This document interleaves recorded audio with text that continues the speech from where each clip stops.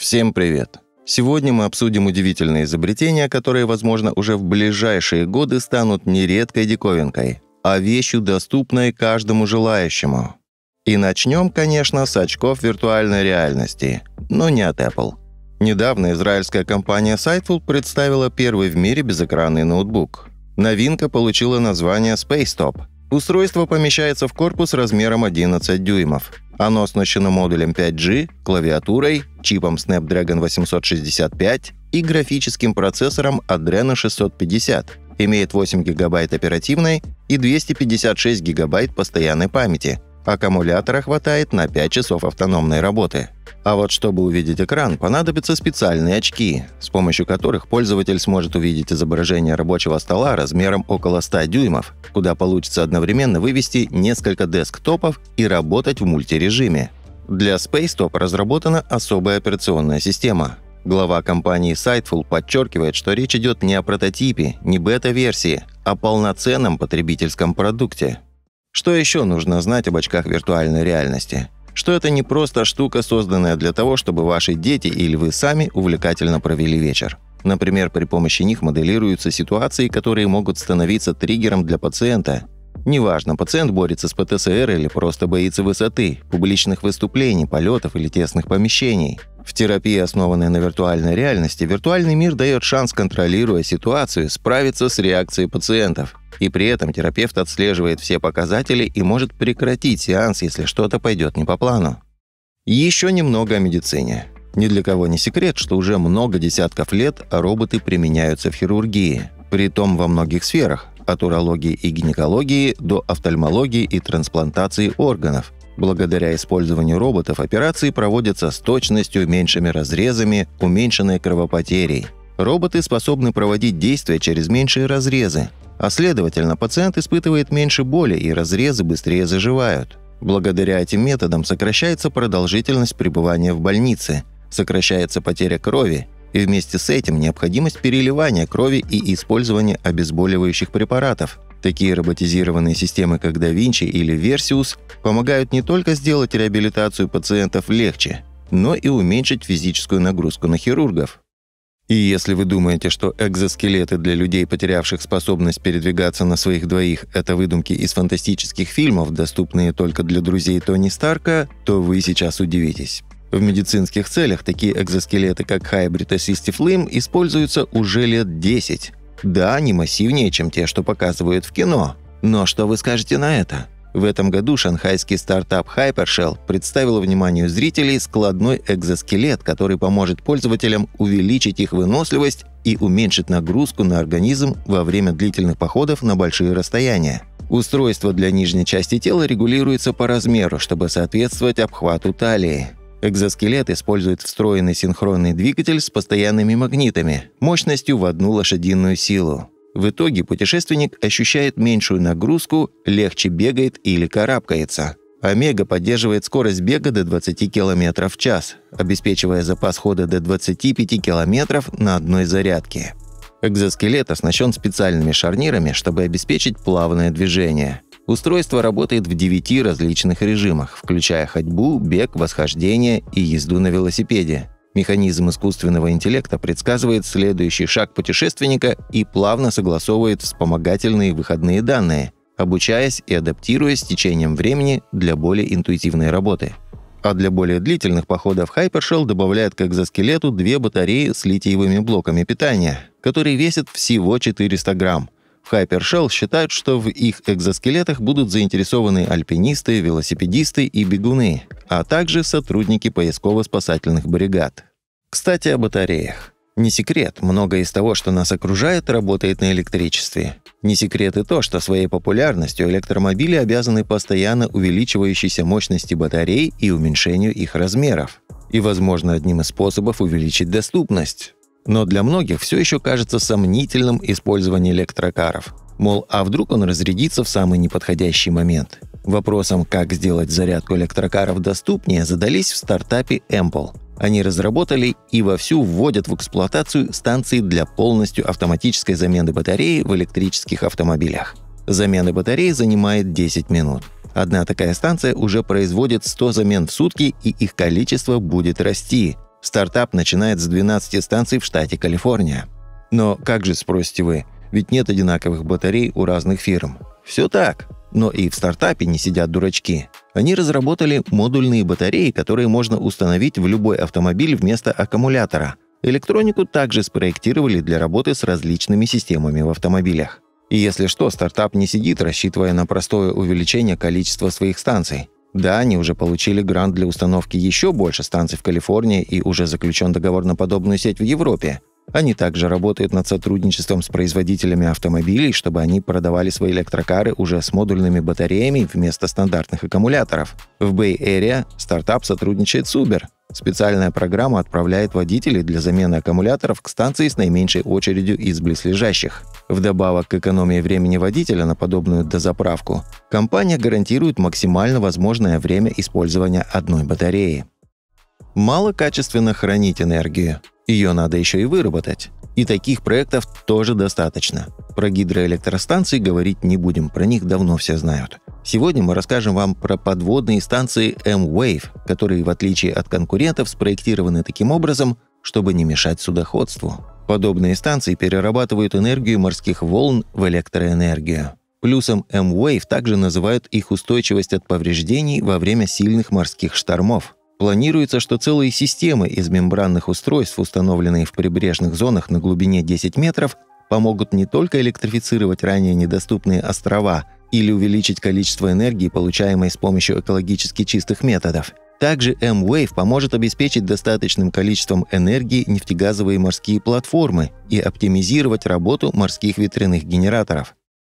Еще один стартап Nova Innovation решил использовать энергию приливов для зарядки электрокаров. Мало того, что они разработали турбины, вырабатывающие электричество, используя приливные волны, они в сотрудничестве с Tesla уже разработали зарядную станцию для подзарядки электрокаров и ввели ее в эксплуатацию – Осталось только масштабировать технологию, чтобы сделать использование электрических авто в разы экологичнее. Пока стартап сконцентрировал свое внимание на прибрежной зоне Новой Шотландии и Канады, но в их планах использовать свои технологии по всей Европе.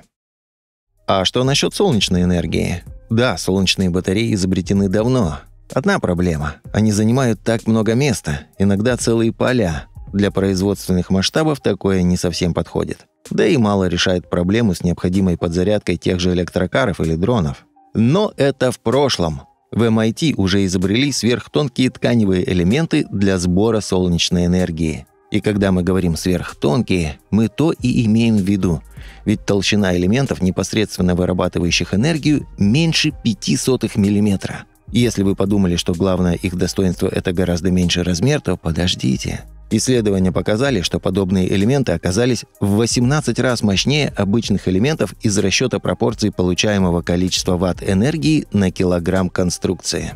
Ну и сами понимаете, диапазон применения подобных элементов очень широк. Мало того, что их можно использовать в плотно застроенных районах, так ими еще можно покрывать машины, дроны, даже одежду из них можно шить. А там уже и розетки для зарядки телефонов могут отпасть за ненадобностью. Благо технология бесконтактной зарядки существует. В общем, думаем, вы поняли весь потенциал данного изобретения.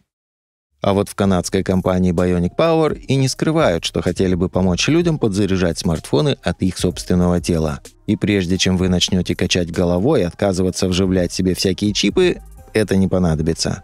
И это изобретение пока что нацелено только на военных. Чтобы им не пришлось носить с собой тяжелые батареи, компания предлагает носить с собой мобильный электрогенератор PowerWalk. Он состоит из двух частей, которые прикрепляются на бедро и голень. Во время ходьбы, когда человек сгибает и разгибает ногу, обе части генератора смещаются и приводят в движение электромотор, а тот вырабатывает энергию, которой подзаряжают аккумулятор.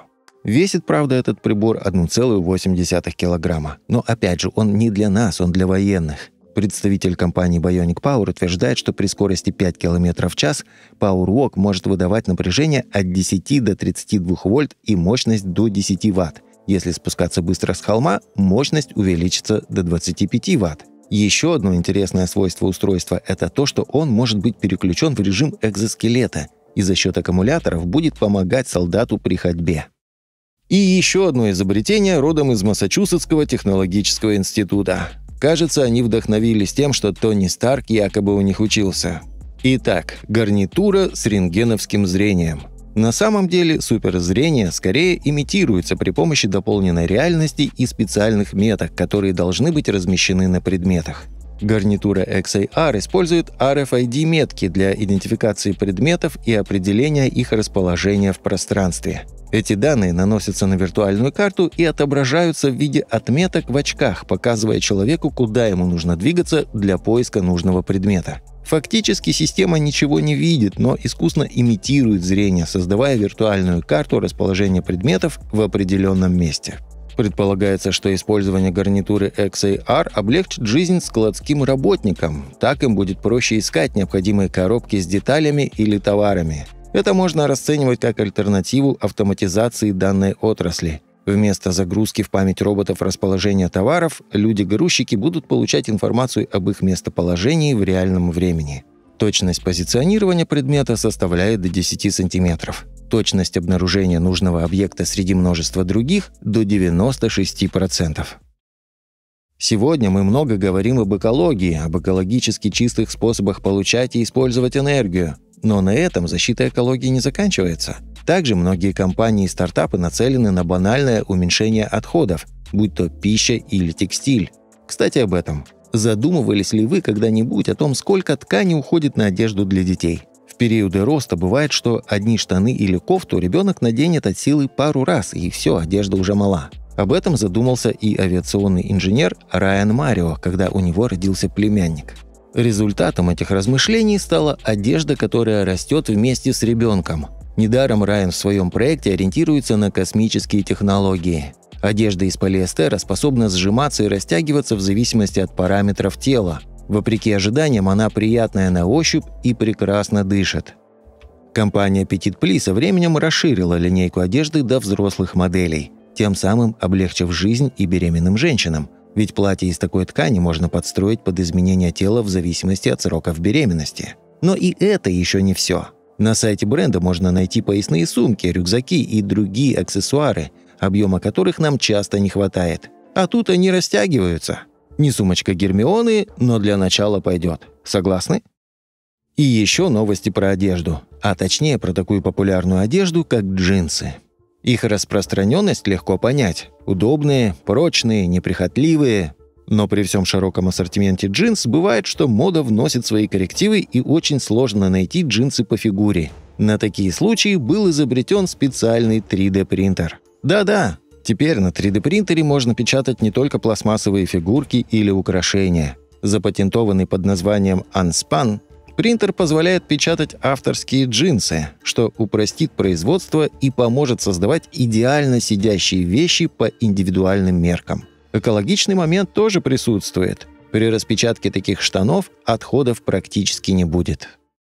Сейчас многие опасаются, что роботы заберут работу у людей – Неважно, о чем вы говорите, о нейросетях, обрабатывающих фотографии или беспилотниках, доставляющих товары. Но обычно это не касается скучной и монотонной работы. Вот, например, первый в мире мобильный покрасочный робот Майро от сингапурского стартапа. Он программируется с обычного планшета. С помощью 15 датчиков имеет 360 градусов обзора, распознает людей перед собой и в таком случае прекращает покраску – Обходит окна и двери стороной, ну а краску распыляет по стенам просто идеально. Производитель роботов посчитал, что с роботом покрасить стены получается в 10 раз быстрее. Он позволяет сократить на 80% в зависимости от рабочей силы, которой во многих странах часто не хватает. Но не все новые технологии призваны быть продуктивными или практичными. Иногда даже самые технологичные стартапы могут напомнить нам о важном, о том, что доступно одним и может быть совершенно непонятно другим. Это изобретение 2021 года, и тогда оно выиграло премию самого уникального изобретения года.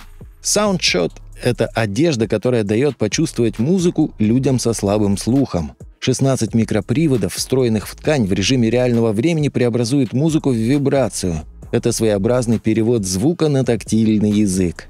Чтобы глухой человек смог почувствовать жужжание и колебания на коже, одной из основных задач дизайнеров стало расположение карты оркестра на одежде. Инструменты, издающие высокие звуки, разместили ближе к лицу. Низкие звуки, такие как контрабас и барабаны, в нижнюю часть рубашки. Только так, по мнению дизайнеров, человек сможет полностью погрузиться в музыкальную композицию.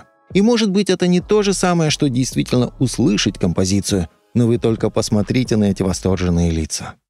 И напоследок мы оставили самое вкусное. То, что можно было годами наблюдать в фантастических фильмах и теперь кажется близким как никогда, а именно летающее такси. Да, если посмотреть все примеры на данный момент, это, конечно, не машина Корбина Далласа, а скорее гибрид вертолета и самолета. Но все же это будущее, которое уже наступило. Что Uber, который вовсю работает над масштабированием и увеличением своего парка, что и Hang 216, еще не распространены повсеместно. Но двухместный и Hang 216 уже вовсю совершает тестовые полеты в 15 городах Китая и в Европе. Даже получил разрешение на полеты в США. И да, это беспилотник, просто грузоподъемностью 260 килограмм, который отвезет вас куда-нибудь, куда можно добраться за 21 минуту на скорости до 130 км в час. А что вы хотели? Это городское такси, а не междугородний автобус. Надеемся, вы узнали сегодня что-то новое и немножко удивились. До встречи в новых видео.